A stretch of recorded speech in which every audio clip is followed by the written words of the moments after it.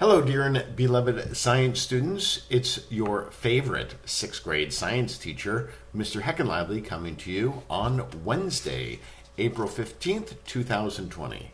Okay, so you may notice I've got a haircut. Yes, I've cut my own hair. How did I do? Uh, my wife wasn't horrified by it yesterday. I'm wondering if all of you are having to deal with things like that such as my hair is so long it's annoying the heck out of me. So, hopefully, not too bad, not too bad. Uh, I'm gonna cut myself a little bit on that side, but you know, that's what happens, okay? We're all making the best of it. Okay, so we are now at the official start of new learning. So last week, what I had done was I had given you the sixth grade science review number three and now we're going to go over the answers. So, question one How does altitude affect climate? The higher the altitude, the colder the climate. Number two, how does latitude affect climate? The farther the latitude is away from the equator, the sun's rays do not strike the earth as directly, providing less heat and creating a colder climate.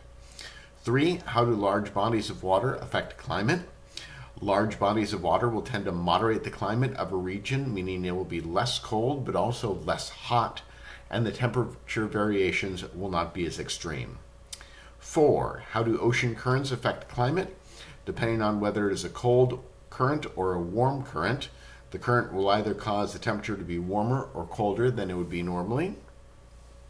Five, what three countries emit the largest amount of carbon dioxide? That would be China, India, and the United States. Six, why does it rain more at night than during the day? Because it is colder at night. That tends to push the water molecules closer together because they have less thermal energy and they condense into rain droplets. Seven, what three things affect currents? That would be wind and differences in density due to temperature and salinity. Okay, so tem- temperature and salinity are both their own categories. Okay, um, what drives surface currents? Wind what causes deep currents, differences in density due to temperature and salinity. What is El Nino? El Nino is a warm water current. Uh, 11. What is La Nina? It is a cold water current. 12. How is asexual reproduction, like a Star Wars storm or clone trooper, depending upon which movie you're watching? Uh, the answer is they're both clones or identical genetic copies of their parent. Uh, 13. How does sexual reproduction prevent a species from being wiped out? Uh, genetic diversity in a population, which happens because the genes of the mother and father are mixed, provides protection when conditions change.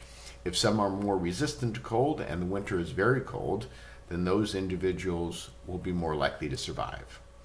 14, what is heredity? It's the study of how genes are passed from one generation to another. 15, what is a Punnett square? That's a way to determine the probability of a gene being passed on from one generation to another. 16, what is a dominant gene? That's a gene whose trait will be expressed if it is present. Uh, what we had talked about is, for example, the tall gene, okay? So we would um, uh, write that as a capital T. Um, we would write being short as a lowercase t. So if somebody had a capital T and a small t in their genes, uh, they would be tall. Okay. Uh, 17. What is an allele?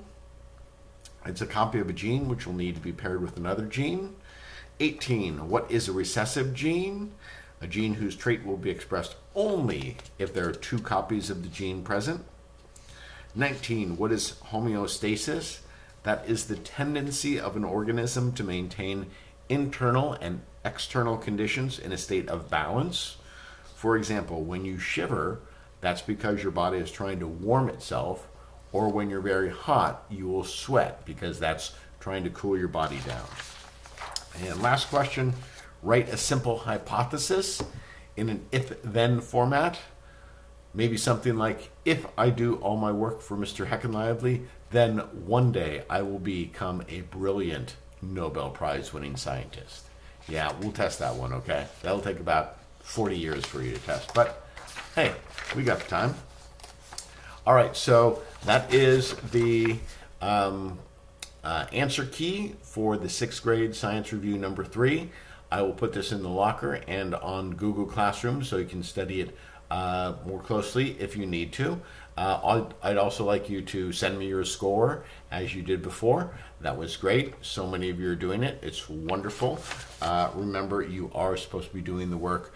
Make sure that you send me your score, or else I will track you down.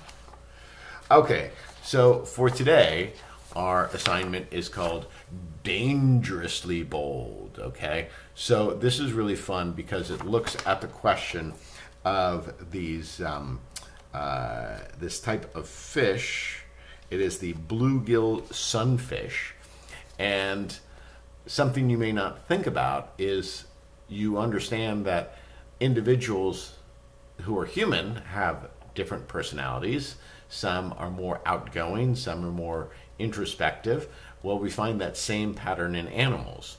So some are more bold than others, others are more shy uh, than their peers. And so we have an interesting question of what happens to the bold members of the species and what happens to the shy members of a species. And there's a really interesting trade off when you go through the data. And, and I just I'd like you to have that question in your mind, saying like, okay, what's what's the benefit of being bold? What's the drawback of being bold? What's the benefit of being shy? And what's the drawback to being shy? So we'll talk about that in our uh, next video. Uh, what I like to do is I'm planning uh, every Monday, Wednesday, and Friday to have a video like this uh, that I'd like you to watch.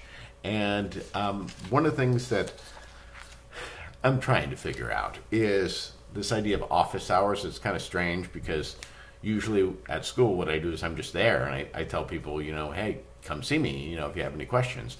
Um, but in the lockdown, we can't do that. So what I'm planning to do is have kind of office hours, uh, Monday, Wednesday, and Friday from 9 to 9.30. And what that means is I will have my School Loop uh, email up. So if you email me during that time, I will just, you know, email you right back. So I'm planning to do that this morning. So if you have any questions, uh, shoot me an email right at that time and I'll get right back to you. Okay, hope this has been helpful for you. Hope you guys are doing well and keeping yourself safe. And I look forward to talking to you um, uh, next time. All right.